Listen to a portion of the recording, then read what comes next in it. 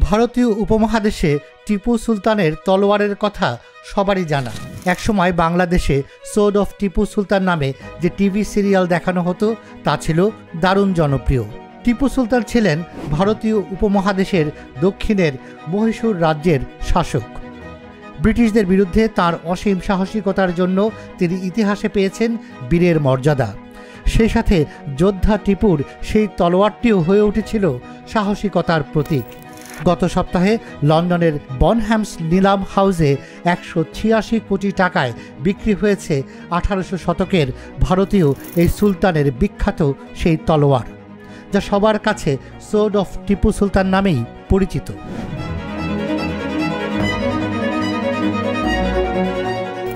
টিপু সুলতান সতেরোশো বিরাশি থেকে সতেরোশো নিরানব্বই সাল পর্যন্ত ভারতীয় উপমহাদেশের দক্ষিণের মহীশূর রাজ্যের শাসক ছিলেন।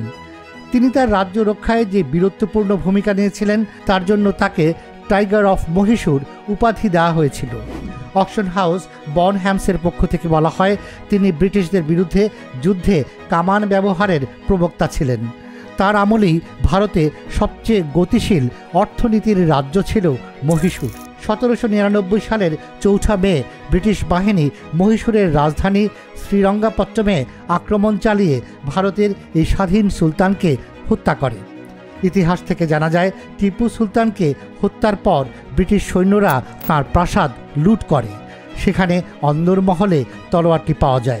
তখন ব্রিটিশ মেজর ডেভিড বেয়ার্ডকে তার সাহসের স্মারক হিসেবে তলোয়ারটি দেয়া হয়। বনহেমসের পক্ষ থেকে আরও বলা হয়, এখনও টিপু সুলতানের স্মৃতিযুক্ত যেসব জিনিসপত্র বা অস্ত্র ব্যক্তি মালিকানায় রয়ে গেছে, তার মধ্যে তলোয়ারটি অন্যতম এবং সবচেয়ে দর্শনীয়।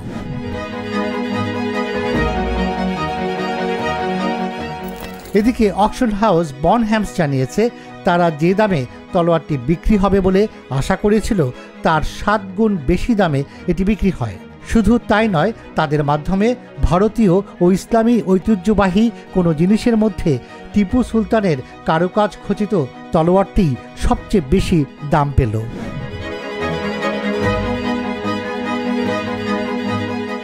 ইতিহাসবিদদের মতে, সোড অফ টিপু সুলতান আরও কয়েকটি কারণে বিখ্যাত। এটি এমন একটি তলোয়ার যার হাতল বিশেষভাবে তৈরি। এটি লোহার মধ্যে ক্যালিগ্রাফিক বৈচিত্র্যে স্বর্ণখচিত। শুধুমাত্র বিশেষ ব্যক্তির জন্যই সেই সময় এমন হাতলযুক্ত তলোয়ার তৈরি করা হতো। ধারণা করা হয় এটি ষোলোশো শতকে মুঘলরা তৈরি করেছিল।